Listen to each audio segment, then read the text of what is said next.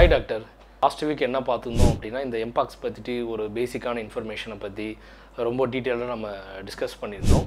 So அதே போல் இந்த week வந்துட்டு கொஞ்சம் இன்னும் கொஞ்சம் டீட்டெயில்டாக அதாவது வந்துட்டு எம்பாக்ஸ் வந்து எந்த அளவுக்கு இந்த ஸ்கின் டிசீஸ் எல்லாம் அஃபெக்ட் பண்ணுது அப்படின்னு சொல்லிட்டு கொஞ்சம் டீட்டெயில்டாக பார்க்கலாம். ஸ்கின் சிம்டம்ஸ் வந்து ரொம்ப இம்பார்ட்டண்ட் இந்த நான் இது ஏன் வந்து எம்ஃபசைஸ் பண்ணுறேன்னா இந்த எம்பாக்ஸில் வந்து ஸ்கின் சிம்டம்ஸ் தான் கிட்டத்தட்ட ரெண்டு வாரத்துலேருந்து மூணு வாரம் வரைக்கும் இருக்கும். So major part of the disease வந்து இந்த ஸ்கின்னில் வரக்கூடிய சிம்டம்ஸ் தான் வந்து. ஸோ பொதுவாக பார்த்திங்கன்னா இந்த ஸ்- எங்கெல்லாம் வரும்னு பார்த்தீங்கன்னா இது வந்து ஃபேஸில் வரலாம் இல்லாட்டி நம்மளுடைய செஸ்ட் ஏரியாவில் வரலாம். சில பேருக்கு வந்து கை கால் எஸ்பெஷலி இந்த பாம் சோல்ஸ் அங்கெல்லாம் வரலாம். சில பேருக்கு வந்து யூரின் போகிற இடத்துலலாம் வரலாம். ஸோ இந்த ஸ்கின் லீஷன்ஸ் எப்படி ஆரம்பிக்கும்னா சம்டைம்ஸ் ஒரு சின்ன ரெட்னஸ் மாதிரி இருக்கும். ரொம்ப மைல்டாக தான் ஆரம்பிக்கும். அப்புறம் வந்து அந்த இடத்துல ஒரு சின்ன கொப்பளம் மாதிரி வரும்.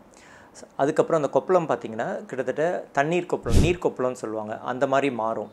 அதுக்கப்புறம் சீட் கட்டி மாதிரி வந்து மாறும். கடைசியாக என்ன ஆகும்? இது வந்து அப்படியே காஞ்சி உதிர்ந்துடும் அப்படியே செதில் மாதிரி விழுந்துரும் க்ரஸ்டிங்னு சொல்கிறது ஸோ அந்த மாதிரி உதிர்ந்துடும் உதிர்ந்துரும். ஸோ இதெல்லாம் தான் வந்து ஒரு டிஃப்ரெண்ட் ஸ்டேஜஸ் வந்து. ஸோ இது ஒரு கொப்பளம் வந்துச்சுன்னா இந்த நாலஞ்சு ஸ்டேஜை தாண்டினா தான் இந்த டிசீஸ் வந்து ஃபுல் ரெக்கவரி வருதுன்னு அர்த்தம். ஸோ ஏன்னா வந்து இந்த கொப்பளம் இருந்துக்கிட்டே இருக்கும் போது அவங்களுக்கு அந்த டிசீஸ் ஆக்டிவாக இருக்குது இப்போ இன்னொருத்தவங்க க்ளோஸ் கான்டாக்ட் வருதுன்னு வச்சுக்கோங்க. அந்த கொப்பளத்து மேலே கைப்படுது அவங்களுடைய உடம்பு வேறு ஏதாவது உடம்பு பாடி பார்ட் படுதுன்னா அந்த வைரஸ் கிருமி வந்து டிரான்ஸ்மிட் ஆகிறதுக்கு அதிக வாய்ப்பு இருக்குது ஸோ மற்றவங்களுக்கும் இன்ஃபெக்ஷன் பரவலாம். ஸோ இந்த இன்ஃபெக்ஷன் கம்ப்ளீட்டாக க்ரஸ்ட் ஆகி அதாவது வந்து ஒரு ட்ரை ஆகி அப்படியே விழுந்துரும் ஸ்கின்ல ஸோ அது வரைக்கும் வந்து அவங்க இன்ஃபெக்டிவிட்டி இருக்கும். ஸோ அதனால் ரொம்ப கேர்ஃபுல்லாக இருந்துக்கணும். ரொம்ப தேங்க்ஸ் டாக்டர் இந்த எம்பாக்ஸ் வந்துட்டு எந்த அளவுக்கு ஸ்கின்னை வந்துட்டு அஃபெக்ட் பண்ணுது அப்படின்னு ரொம்ப டீட்டெயில்டாக சொன்னீங்க. ஸோ அதே போல் எனக்கு இன்னொரு டவுட் இருக்குது ஸோ இது வந்துட்டு இப்போ இந்த எம்பாக்ஸில் வர்றது வந்துட்டு நார்மல் பாக்ஸுக்கும் இதுக்கும் ஏதாச்சும் ஒரு சம்மந்தம் இருக்கா? இல்லை கம்ப்ளீட்டாக இந்த எம்பாக்ஸ் வந்துட்டு டிஃப்ரெண்ட்டானது ஒன்றா ஸோ இப்போ இந்த சிம்டம்ஸை பொறுத்த வரைக்கும் நீங்கள் ஒரு நல்ல கேள்வி கேட்டிங்க. எப்படி வந்து இதை நீங்கள் நார்மல் சிக்கன் பாக்ஸ்லேருந்து டிஃப்ரென்ஷியேட் பண்ணலாம்? இல்லை மீசில்ஸ்லேருந்து டிஃப்ரென்ஷியேட் பண்ணலான்னு? இது டிஃப்ரென்ஷியேட் பண்ணுறது ரொம்ப சேலஞ்சிங்கான விஷயம். ஸோ இது வரைக்கும் நாங்கள் பார்த்துருக்க கேசஸ் வச்சு நம்ம ம- மருத்துவ ரீதியாக சொல்லணுன்னா இது வந்து இந்த எம்பாக்ஸுங்கிறது என்பது வந்து ஸ்மால் பாக்ஸ் ஃபேமிலியை சேர்ந்த வைரஸ் ஸோ ஸ்மால் பாக்ஸில் இருக்கக்கூடிய சிம்டம்ஸ்லாம் வந்து இதுலேயும் வரலாம் ஆரம்பத்தில். ஸோ ஸ்மால் பாக்ஸையும் இதையும் டிஃப்ரென்ஷியேட் பண்ணுறது கஷ்டம். பட் ஃபார்ச்சுனேட்லி ஸ்மால் பாக்ஸுங்கிறது என்பது வந்து இது இப்போ வந்து எரடிகேட் பண்ணிட்டோம். அதாவது நைன்டீன் எயிட்டிலேயே வந்து டபிள்யூஹெச்ஓ உலக சுகாதார மையம் வந்து வேர்ல்டு வைட் வந்து ஸ்மால் பாக்ஸை எரடிகேட் பண்ணிட்டாங்க.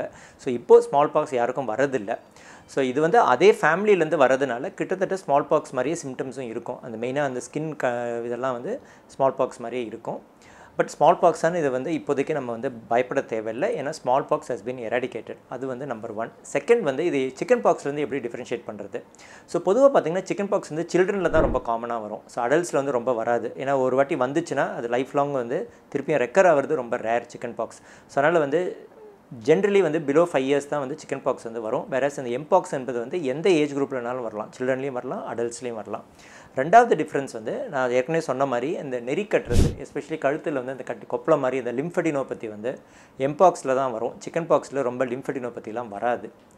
மூன்றாவது டிஃப்ரென்ஸ் பார்த்தீங்கன்னா நீங்கள் சிக்கன் பாக்ஸ் பார்த்தீங்கன்னா வந்துட்டு போய்கிட்டே இருக்கும். அதாவது ஒரே இடத்துல பார்த்தீங்கன்னா ஒரு ஒரு ஒரு ஒரு இடத்துல வந்து வெறும் கொப்பளம் இருக்கும். அது பக்கத்துலேயே வந்து ஒரு நீர் கொப்பளமாக இருக்கும். அது பக்கத்தில் சீல் கொப்பளமாக இருக்கும்.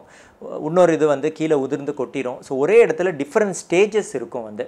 வேற எம்பாக்ஸில் பார்த்தீங்கன்னா ஒரு இடம் இப்போ உங்கள் உங்கள் செஸ்ட்டில் இருக்குன்னா அந்த செஸ்ட் ஃபுல்லாக ஒரே மாதிரி தான் இருக்கும்.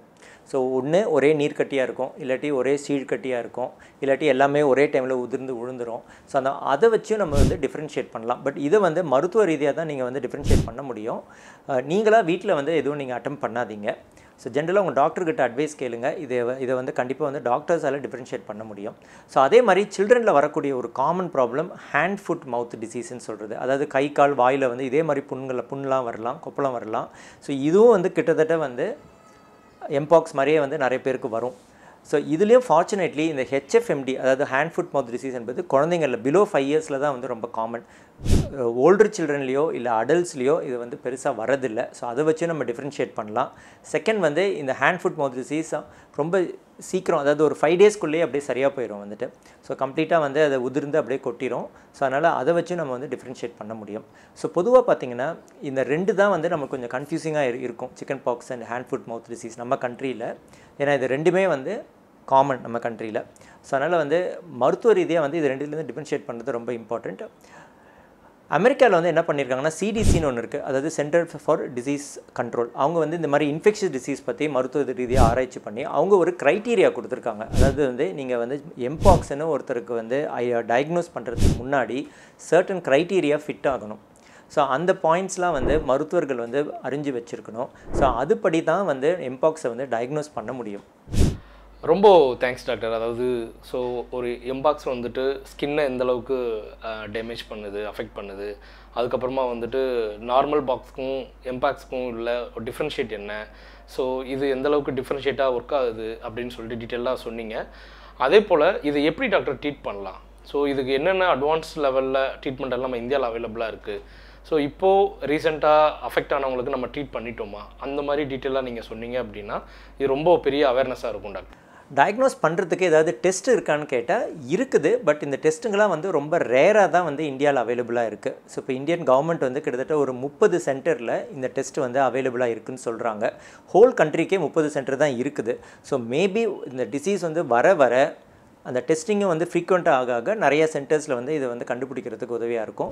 ஏன்னா இப்போ நீங்கள் இப்போ கொரோனா வைரஸ் இதுவும் பேண்டமிக் அப்பையும் அப்படி தான் ஆரம்பத்தில் வந்து வெறும் சில சி- சில லேபில் தான் வந்து அந்த கொரோனா வைரஸை வந்து டெஸ்ட் பண்ணிட்டு இருந்தாங்க. அதுக்கப்புறம் போக போக நிறைய லேப்ஸில் பண்ண ஆரம்பிச்சிட்டாங்க. ஸோ அதே மாதிரி கவர்மெண்ட்டும் வந்து இந்த இன்ஃபெக்ஷன் நிறைய வந்துச்சுன்னா நிறைய லேப்ஸுக்கு பர்மிஷன் கொடுப்பாங்க டெஸ்ட் பண்ணுறதுக்கு பட் இப்போதைக்கு கிட்டத்தட்ட வந்து ஒரு தேர்ட்டி டூ லேப்ஸில் தான் வந்து இந்தியா ஃபுல்லாகவுமே இந்த எம்பாக்ஸ் டிடெக்ஷன் கிட்ஸ்லாம் அவைலபிள் பண்ணி வச்சுருக்காங்க கவர்மெண்ட் ஸோ அடுத்தது நீங்கள் கேட்குற கேள்வி அதாவது எப்படி வந்து இதை வந்து டயக்னோஸ் பண்ணுறது இது வந்து ரொம்ப முக்கியமான கேள்வி.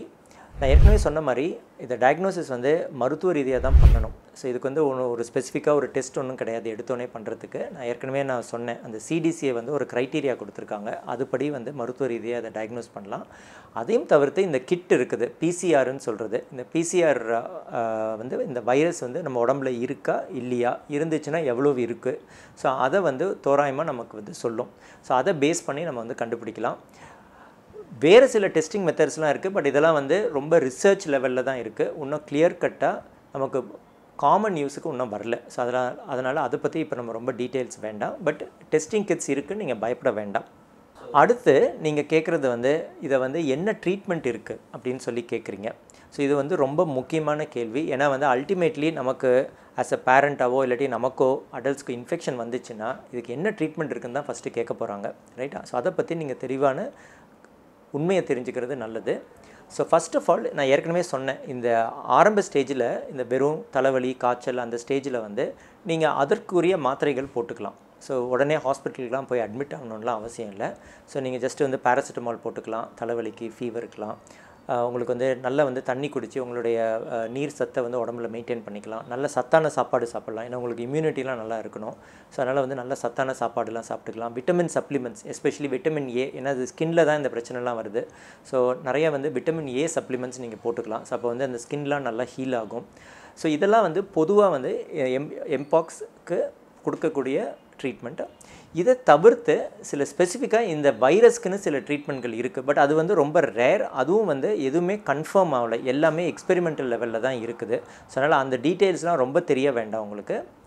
பட் ஆனால் சில மெடிசின்ஸ்லாம் இருக்குது அதே மாதிரி சில பேருக்கு வந்து கண்ணில் அஃபெக்ட் பண்ணும். ஸோ கண்ணில் இந்த அஃபெக்ட் பண்ணிச்சுன்னா கண் கருவிழியில் வந்து பிரச்சனை வரலாம் ஸ்காரிங்லாம் வரலாம். ஏற்கனவே ஸ்கின்ல வந்த மாதிரி கண்லேயும் அஃபெக்ட் பண்ணும்.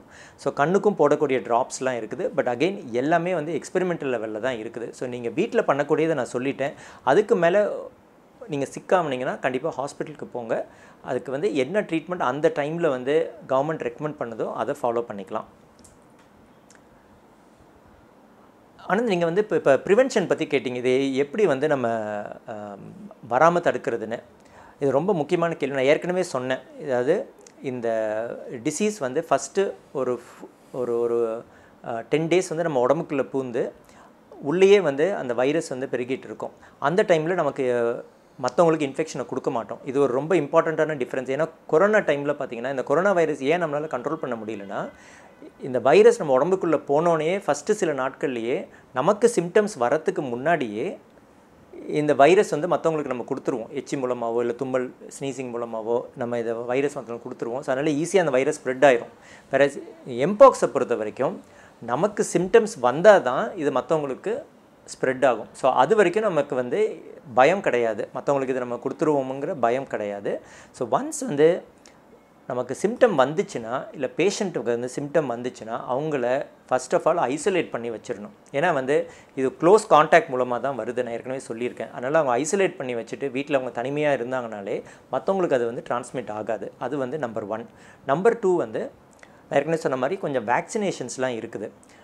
ஸோ இது வந்து இந்த ஸ்மால் பாக்ஸ் வேக்சினை சேர்ந்த வேக்சின்ஸ் இதெல்லாம் பட் எல்லாமே எக்ஸ்பெரிமெண்டல் லெவலில் தான் இருக்குது. ஸோ ஒரு வேக்சின் இப்போ புதுசாக கண்டுபிடிச்சிருக்கு வந்து ரெண்டு டோஸ் போடணும் சப்குட்டேனியஸ் இன்ஜெக்ஷனாக போட்டுக்கணும் சில்ட்ரனில் பெரியவங்க எயிட்டீன் இயர்ஸ்க்கு மேலே இதை வந்து இன்ட்ராடமல் அதாவது ஸ்கின்னுக்கு இந்த தோல் ஊசின்னு சொல்லுவாங்க இந்த பிசிஜி அந்த மாதிரி. ஸோ அந்த தோல் ஊசி மாதிரி போட்டுக்கலாம். ஸோ இதெல்லாம் வந்து எக்ஸ்பெரிமெண்ட் லெவலில் தான் இருக்குது சப்போஸ் இந்தியாவில் இதெல்லாம் அவுட் பிரேக் வந்துச்சுன்னா நம்ம கவர்மெண்ட் கைட்லைன்ஸை ஃபாலோ பண்ணி என்ன வேக்சின் அவங்க வந்து அவைலபிள் படுத்துகிறாங்களோ அதை நம்ம அந்த ஸ்டேஜில் போட்டுக்க வேண்டியதுதான். இப்போதைக்கு எதுவும் நீங்கள் வந்து ரூமர்ஸ்லாம் வந்து இது இருக்காது இருக்குன்னு சொல்லி நீங்கள் வந்து நம்பாதீங்க. இப்போதைக்கு எதுவுமே வந்து அக்செப்டட் ட்ரீட்மெண்ட்டோ வேக்சினேஷன்ஸோ கிடையாது எம்பாக்ஸுக்கு ஸோ நீங்கள் இப்போ பண்ணக்கூடியதெல்லாம் உங்களுக்கு டிசீஸ் இருந்துச்சுன்னா ஐசோலேட் ஆகிக்குங்க மற்றதெல்லாம் வந்து சிம்டம்ஸ் வச்சு நம்ம ட்ரீட் பண்ணிக்கலாம். ஸோ இப்போ நம்ம வந்து எம்பாக்ஸை பற்றி நிறைய டீட்டெயில்ஸ் பார்த்தோம். ஸோ எம்பாக்ஸ்லேருந்து வரக்கூடிய ஸ்கின் சிம்டம்ஸ் என்னென்ன? அந்த ஸ்கின் சிம்டம்ஸ்னால் வரக்கூடிய பிரச்சனைகள் என்ன? அதை எப்படி வந்து டயக்னோஸ் பண்ணுறது இது எப்படி வந்து ட்ரீட் பண்ணுறது முக்கியமாக வந்து எம்பாக்ஸ் எப்படி ப்ரிவெண்ட் பண்ணுறது அதுக்கு என்ன வேக்சின்ஸ் இருக்குது? என்ன வேறு என்ன மெடிசின்ஸ்லாம் இருக்குதுன்னு சொல்லி பார்த்தோம்.